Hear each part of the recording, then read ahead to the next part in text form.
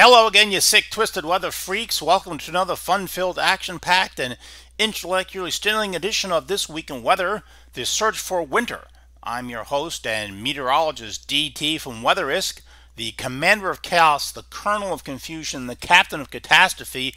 Let's talk about this week in weather. We got a lot to talk about here. Some uh, a little bit of tropical weather here. Uh, then we're going to do a lot of the medium range forecasting, which is showing some really interesting signs for the autumn and the winter, and then some other additional data at the end. So let's get right to it. This here is the website in case you haven't seen it. Uh, don't forget to get the newsletter down there. Only $5 a month gives the next forecast for the next three weeks. Now, the first week is pretty accurate. Second week, so-so. And third week, you know, is just a general model interpretation of what you get. But it does gives you advance notice. It's probably one of the best weather bargains out there for only three dollars, only a five dollars a month. So uh, get a chance sign up for that. All right, this here is uh, Sam going out to sea. Like we said ten days ago, not a problem. I know there are private forecasters out there that kept telling you that Sam was a threat. No, it ain't. Uh, that was pretty obvious. And, the, and this here is Victor. Same sort of thing. Nice looking storm coming off the Cape Verdes of Africa normally it could be a serious concern watching it, uh, but it doesn't develop very much and it goes out to sea. Why? This is why. This is the upper air pattern as of yesterday, September 29th. So you see in this image here, look at the lower right. You see that purple area underneath where it says ridge? That's Sam. And it's going out to sea. And you can see the ridge. You see where I have the ridge on the left hand, on the right hand side where it says ridge around the black line. That's the Bermuda High. Now, when the Bermuda High is close to the East Coast, the hurricanes threaten the East Coast much more. But in this case, it's out in the central Atlantic Ocean. On top of that, we have a big trough on the East Coast, which is why we have spectacular weather on the East Coast today. I mean, the eastern third of the country looks fabulous. But that trough is pretty big. And the interaction between that trough and the Bermuda High being out in the central Atlantic Ocean means that Sam has to turn out to sea. It was that way today. The model showed that four days ago. It showed it 10 days ago. But not this one was not a hard forecast. Now we also have a big trough on the west coast. You see that, and this big purple area in the Gulf of Alaska in the upper in the upper left corner. You see that big trough coming down. So a couple of them actually. And in between, we have this ridge which covers the plains and the Great Lakes, Mississippi Valley, and then a blocking pattern, a, a very strong anomaly, a block um, in the northern Canada up into the Arctic region. So that's the current upper air pattern. This here's our surface map. Look at that high right over the Great Lakes. Uh, really nice weather. The front is down in the South Carolina, Kentucky, out towards uh, Minnesota, Iowa. And then the next front coming into the Pacific Northwest already. This here is our La Nina. There it is. You can clearly see it. It's there. Uh, the blue area running along the coast in the in the Pacific. See that big long blue area off the coast of Peru that extends out south of Hawaii? That's the La Nina. And, you know, it's not super strong, but it's definitely there. This here is the latest, uh, well, this is September 22nd, about a week ago now. The new data should be out. You can see that it has a pool of pretty uh, nice looking cold water. That's around 3 degrees centigrade. The new data has a couple of pools of 2 degrees centigrade, but the cold water is there. It's about 100 meters down, and it'll be bubbling up to the surface here over the next 30 days, and we have La Nina.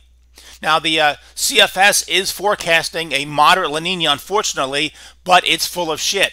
Uh, you can see that uh, you can see the dashed black line. That is the mean of all these different model runs. So there's about 20 of them, and all the different spaghetti lines. They put them together, and then you get your mean, and you can see it gets down to almost uh, a 1.3, 1.4. That's moderate minus 1.4 centigrade. That is moderate La Nina. The problem is that all the other data doesn't show that. Let me show you. These are the other models here from IRI, and you can see that most of them, you look at the, uh, the solid green, the purple, blue lines, these are the means, uh, the different models here, and you can see most of them do not show, uh, it stays above 1 degree centigrade, negative 1 degree centigrade anomaly.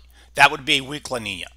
That's what it shows. Now that's good because weak La Nina, as we talked about in the video last week, is uh, has a correlation to pretty good snowfall in the central and eastern U.S. as long as it stays weak. Now, and the other now this here is the upper air pattern as of September 30th. The B stands for blocking patterns. Now, what do I mean by blocking pattern?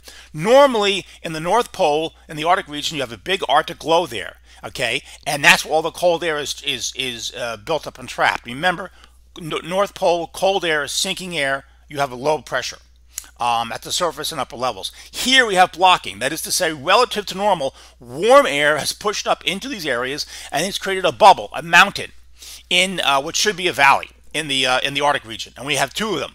One over northeastern Canada and Baffin Island, and the other one in central, uh, I guess, Siberia and and uh, yeah, uh, Murmansk, pushing up towards that way.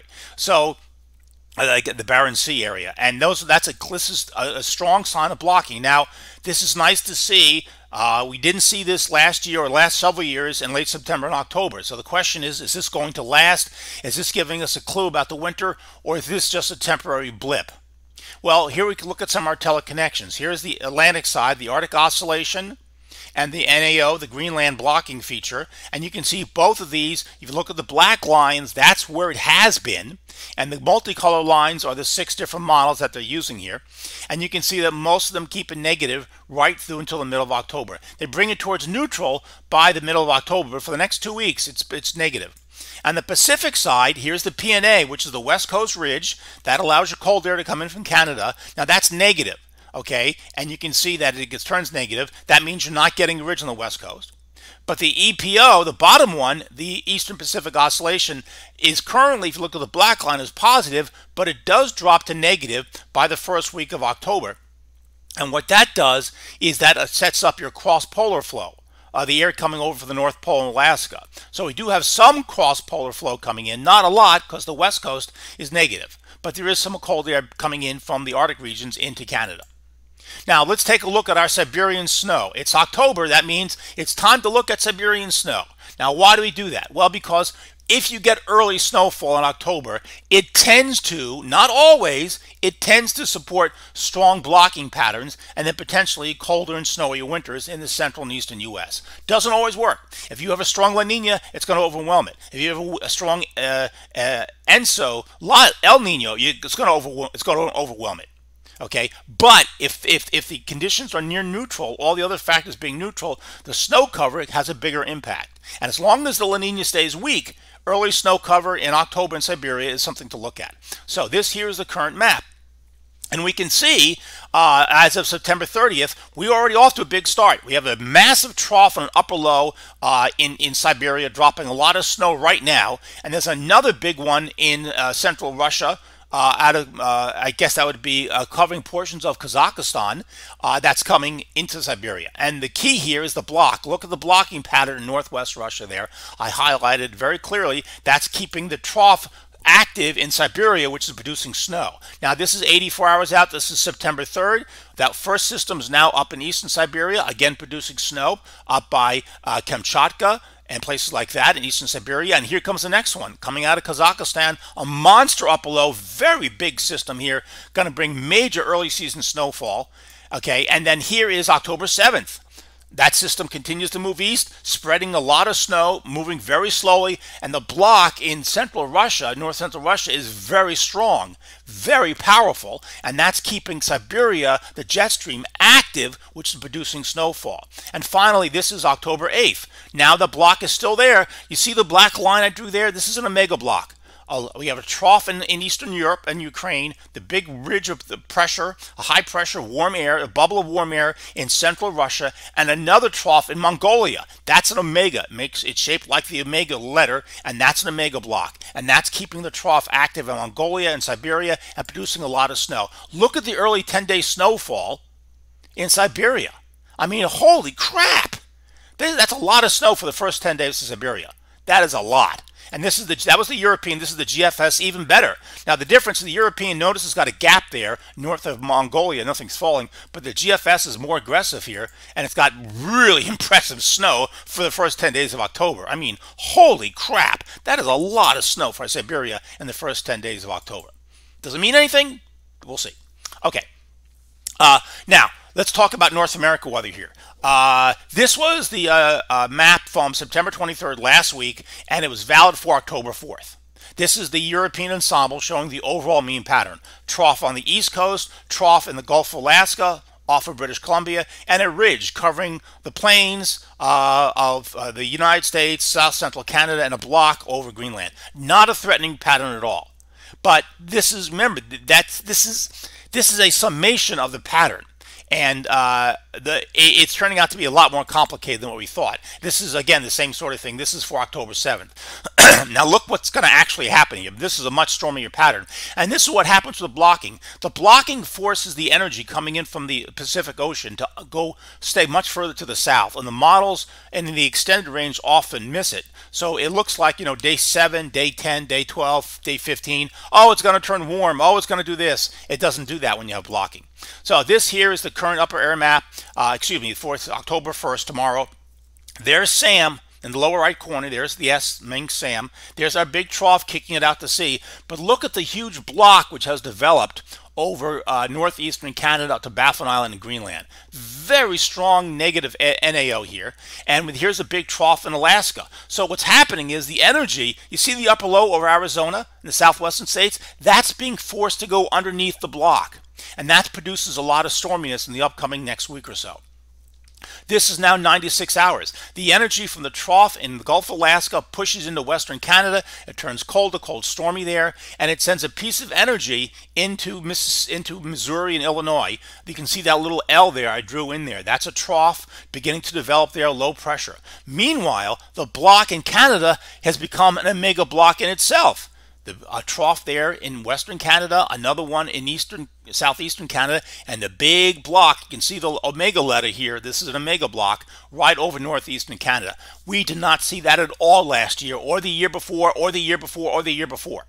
Does it mean anything for the winter? Well, it's it's it's an interesting sign. I'll, let me just say that at this point. Now, this is what happens here. Okay, we have a lot of rain here, uh, low pressure coming into the Great Lakes, uh, southwest winds coming up from the high off the Atlantic coast, so a lot of warm air, warming temperatures here. This is October 3rd into October 4th. The rain moves into the Great Lakes and Mississippi Valley. Now, this is uh, October 5. An upper low is formed over Tennessee, low pressure here all over the southeastern U.S. coast. We have a strong ridge in the Great Lakes with high pressure there, and a block, you can see it clearly over Baffin Island and Greenland, and another trough on the Pacific Northwest. So the upper low is generating low pressure and uh, with, with strong high pressure in Canada and the Great Lakes. So if this was a winter storm event, this would be a major winter storm here for everybody east of the Mississippi River. This is the surface map for October 5. It's just beginning. We can see high pressure here in Canada, in this area where the arrows are going. You can see high pressure here and here. Very nice Canadian high pressure. Low pressure in Georgia, the rain coming in. You have southeast winds bringing in the moisture in from the Bahamas and the southwest Atlantic Ocean, and then you're getting your rain. And um, this is the GFS. That was the European. Here's the GFS. Same sort of thing. See the high there in the top of the map in Canada, 1030 high, very nice. And then you have the low pressure uh, developing in the Bahamas and the southeast winds bringing the moisture in. Rain developing in the Carolinas, pushing up towards Virginia. This is now October 6th. Low pressure on the east coast developing. There's the big high here over Montreal, very strong. And you're getting easterly winds bringing the moisture in. So you have steady rain, widespread rain from Philadelphia and Pittsburgh all the way down to Georgia. And again, if this was January and you had a high like this, this would be a major snowstorm in this pattern.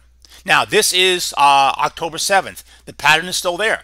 The block remains over the Great Lakes. Another one in Greenland. We have a, a dome in the in the northern Pacific. And look at the upper low there over the southern states. Classic big storm signature if this was the middle of winter. Now, the, this is 192 hours out, a week from uh, tomorrow. Uh, you can see the low pressure is over Hatteras. Classic signature. I mean, think of what this would look like if this was December 8th or January 8th or February 8th. I mean, woof. Can we just get a, a woof for the big snow here? Um, and then high pressure, you can see in north of Montreal, bringing the keeping the cold air in place. In this case, it's cool air. It's not cold air. But you know, if this was November 8th, a lot of this in the mountains would be snow. I got to tell you. So uh, a lot of easterly winds here bringing in the rain, and there's a lot of rain coming with this system. Now the models are just picking up on this. I suspect uh, this is going to get a lot wetter over the next couple days, and this is the European. This is also going to get a lot wetter over the next couple of days. That is again October 8th. Now, uh, this, you know, the ensembles are supporting this. That was the operational run. What about the ensembles? They show the same thing. Look at the block here, the big red blob in Hudson's Bay, Canada. That's a blocking pattern. Another one in, over Greenland. Big trough off the west coast in the eastern Pacific. And then you have that low pressure area developing over the deep south. Classic winter storm signature. I'm telling you, if this was winter, we would be barking like a like the big dog. Uh, this here's the European 240 hours out, uh, October 10th. The trough gets reinforced. Another one is coming in. So you can see, you see the energy coming in here. So let's go back here, a couple of maps.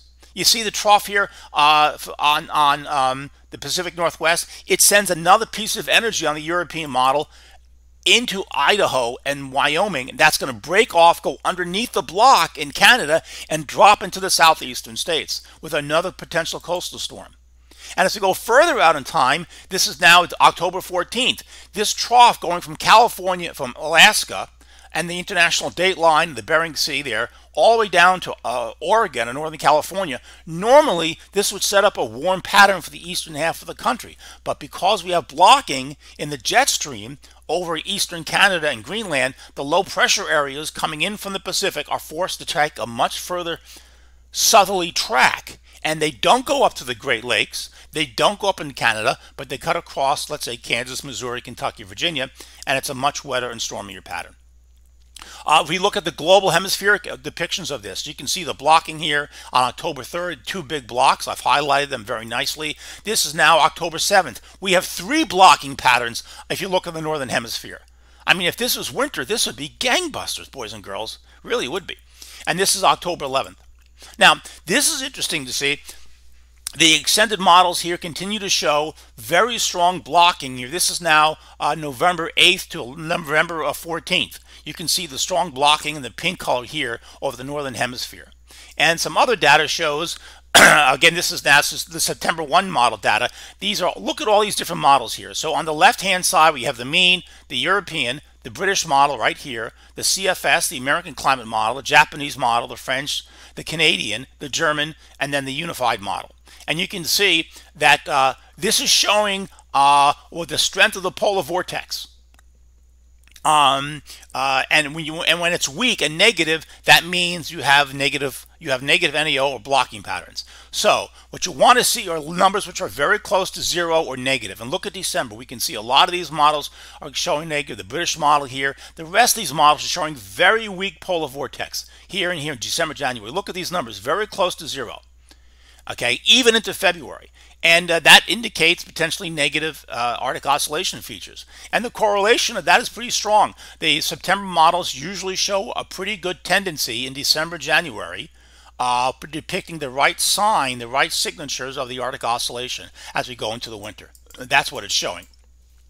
Um, let me make sure I got this one right. So the other thing I wanted to point out was um, you know, we are seeing more signs of it on the different global models of strong blocking showing up in here. So we don't know if that's going to happen, but I believe it is going to be the case.